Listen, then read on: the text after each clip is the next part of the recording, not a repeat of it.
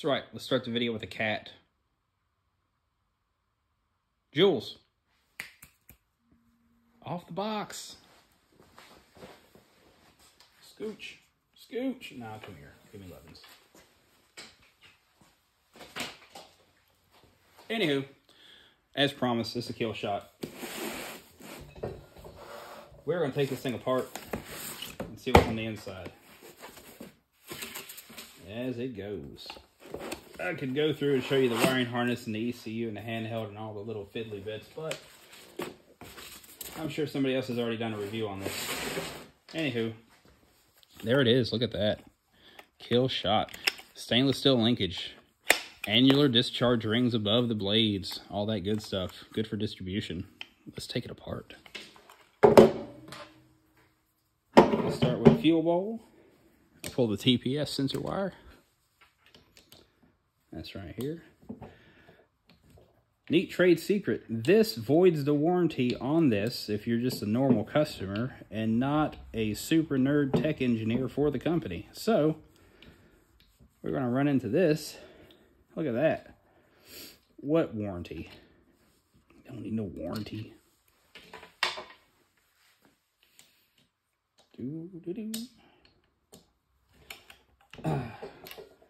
So these fuel bowls, even though they look like fuel bowls, they kind of are. Let's see here. Give me one second. There we go. It's that good stuff. They actually do put a little bit of thread locker on these, that weird clear stuff, but sometimes you got to heat them up. There we go. Thank you. All right, for two. So inside of here is a couple of fuel injectors. Right there. You see right here, it, it feeds in from the fuel ports. Right there, And there's a cross feed tube right there that actually... Oh, wait. There's a cross feed tube. That's a bolt hole. I'm looking at it upside down. You see where the injector's set at right there. Got a little bit of grease on there for the O-rings. And here's the ports they put in so they can actually drill up and through to get to the uh, the channel for the fuel. That's the bowl. We got right here, these are like an EV6 style fuel injector. It's kind of like a gummy connector. Not the best thing in the world, but not the worst thing either. These actually stay in there. There's some other throttle bodies out there that these are really soft and pliable, and they have a tendency because of how crowded they are in here, they'll actually kind of smear a smidge and then pull the pins apart from it, and you end up with a dead injector. We don't really have that problem with ours. But the injectors, is this a normal old fuel injector. Look at that. It's a 100 pound an hour injector. ACES part number on it. Let's see, it's an AE 1004. So, not bad. Four little ports on the end of it. Pretty sweet. Look at this thing. That's number two. We got a couple injector connectors, the TPS connector, and we got the map sensor right here. This is actually a four wire, so it's a temperature map, or T-map sensor. It's good for three bars. So if you're going to run boost in one of these, absolutely fine to do. You just got to rescale some stuff in the software, which in a later video I will get into how to scale for boost. Not really a big deal. As long as it's nice and sealed up and does a good thing, it can do blow through or it can do draw through. The reason it can do draw through is that the port that the map sensor sets in has a couple access points. Come on, get out of there. There we go. Like for blow through application, you don't need to plug or do anything other than put a couple good zip ties on these uh, vacuum ports, but you can blow right through, make positive pressure with a turbo or a uh, centrifugal style blower. Here's an O-ring that goes on the uh, crossfeed tube that runs down the back of it to the other fuel bowl. So if you only have fuel going in one side, it'll distribute back here. But if you're running a little bit higher horsepower, you want it to uh, feed to both fuel bowls. Just kind of a thing. The more the merrier. So with a map sensor, if you was running like a draw through application, like on top of 671 or 177 or something like that, you can actually, in the box, there's a plug that goes in this port right here that you'll red Loctite, stake, or what have you not so it doesn't fall into your supercharger and eat everything up. And then you unscrew this, and there's a, a thread-in vacuum port, or a boost reference port, as this is called. Um, I personally drilled the first one of these. Now it's a thing. It, you can see the boss right there, where it goes from the boost reference and feeds over to the center channel where the map sensor sits. So that's kind of cool. Let's see. Let's get her out.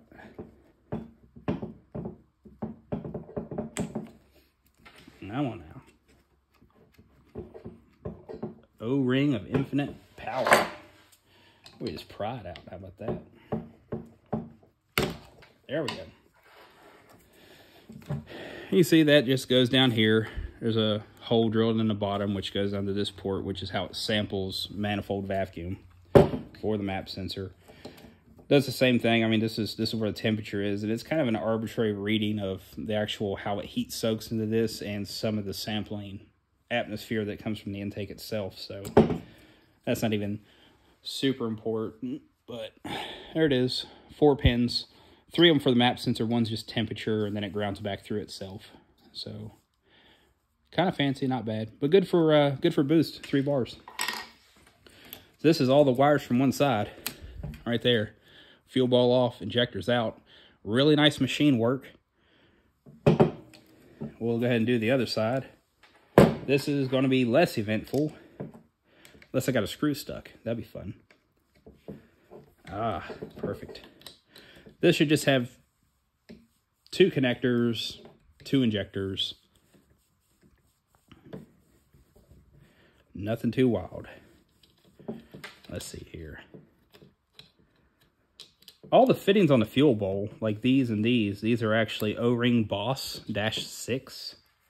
So it's a six or ORB dash six as it goes. So just means it has an O-ring Boss on it. So dash six ORB to dash six AN.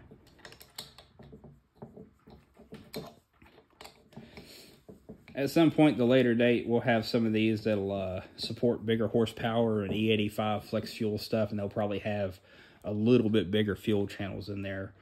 It's really, that just comes down to the engineers and a bit of math. But same thing here. Let's see, it kind of just, oh look, the IAC, I found it. Same thing, here's the, uh, the fuel cross feed port and the bolt holes. I previously pointed to those before not really too exciting, but, you know, nicely done. Good machine work, nice sealing surfaces. It's uh, beveled in here, so we can put the O-ring in. It just slides in instead of eat itself alive. Let's see what we got here. Same thing with these. Same thing. It's like a very slightly custom industry standard for aftermarket throttle bodies style in, uh, injector connector. They're they're rubbery, but not too rubbery to just fall out under a lot of vibration or what have you. This one is a little bit more crowded in here. Same kind of injector, nothing wild. Mm. Get an eyeball on that.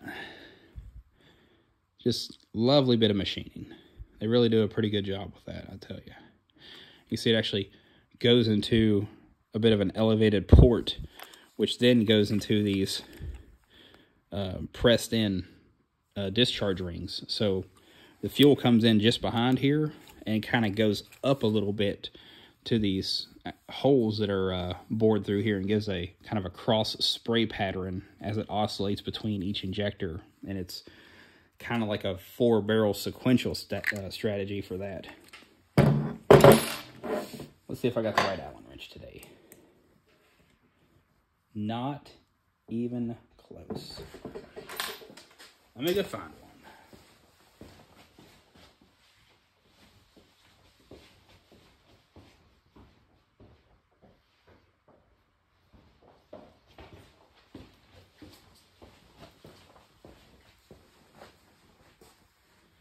Yeah. These are in metric, and I think I just, where in the devil have I put those? Put them here. Uh-huh. So far, all these have been in American Freedom units. So, let's see.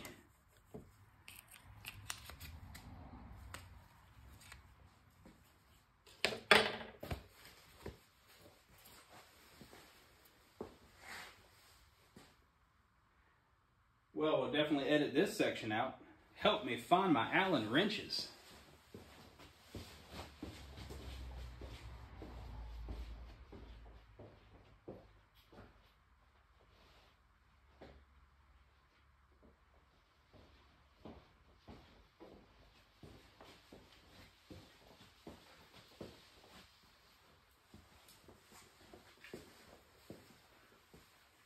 What'd you do with them? Found them. All right. These are American Freedom units. The big one's a 3 16ths, the small one's a 9 64ths, and this one is going to be like a 5 30 seconds, it looks like. The cat had them.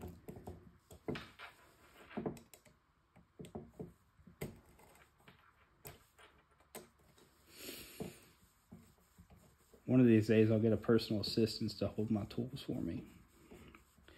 Anyways, the thing I'm taking off right here is the IAC, which is your idle air control motor. It's a stepper motor. It's got two in it, and it moves a pintle in and out to help regulate uh, how much air is bypassing the throttle blades to stabilize your idle, known also as slow idle control. The fast idle control option is really where you get into timing control. So it'll advance and retard the timing to help stabilize your idle. And this right here will help you get it dialed in. Not bad. There we go. A little pintle right there. If you ever take one of these out and power it up, it'll just push itself right off the end and is a nightmare to get back on. I know this from personal experience. Cute little O-ring in there. There we go. Same thing. This bore right here is actually this hole right here. So as it moves that pintle in and out, you kind of see my finger in there, it'll plug and unplug that hole and it sends it out through here. So it's a com computer actuated vacuum leak. So the more you have these closed at idle, the more this has to open up, which you end up with a like a huge sucking noise at idle. You hear just doing a thing. And if you have your throttle blades open up a little bit more, that gets a little bit lesser and you'll see the count on it or the position of the IAC actually start to get lower. So if it really closed, it's really high, so it'll be like 70 or 80, making a heck of a noise.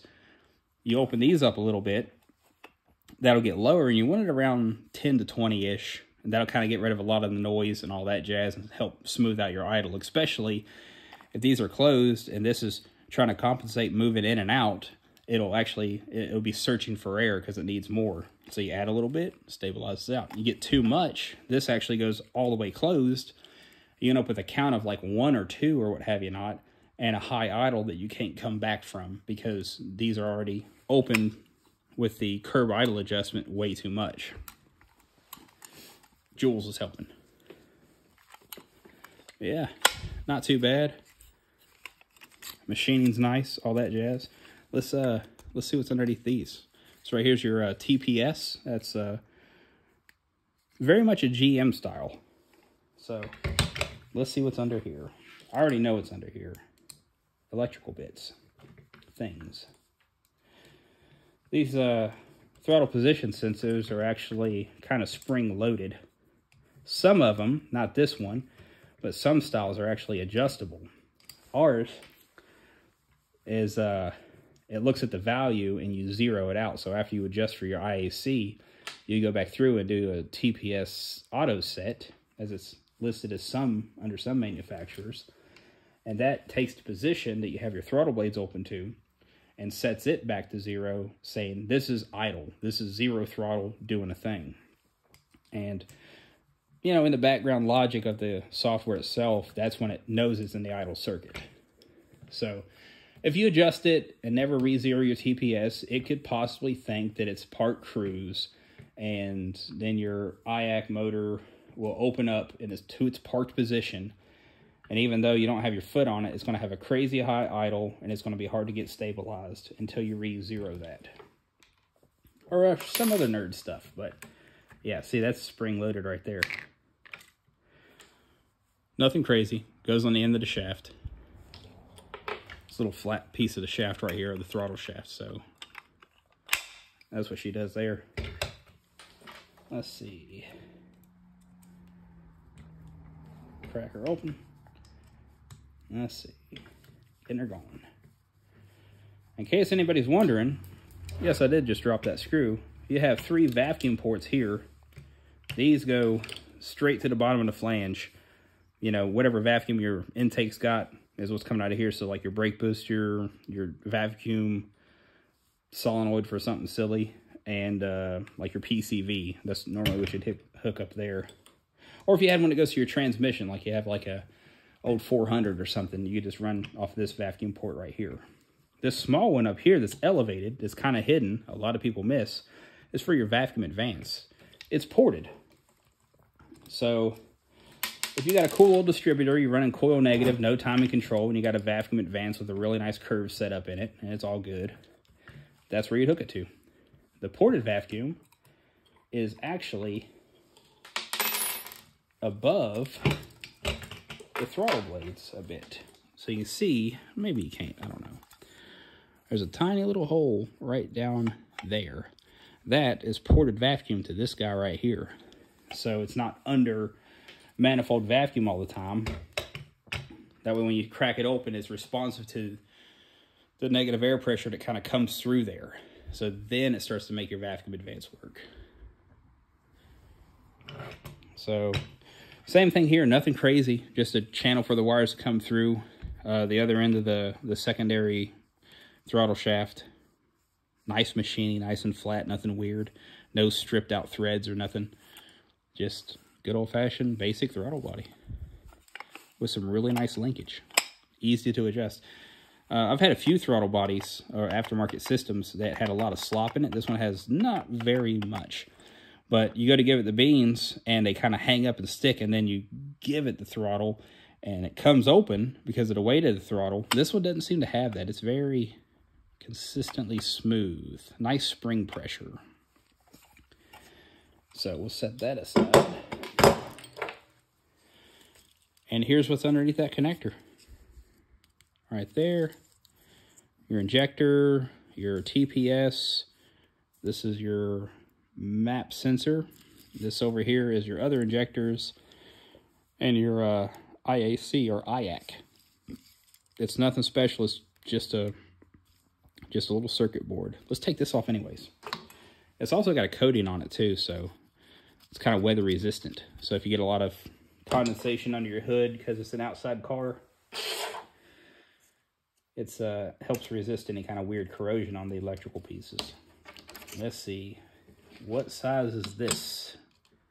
My ichrometer is a smidge off today. It looks like it's a 330 seconds.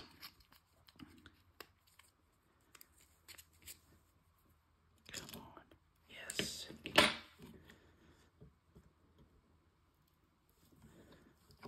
Ugh. I get a lot of customers ask me, what's inside the throttle body?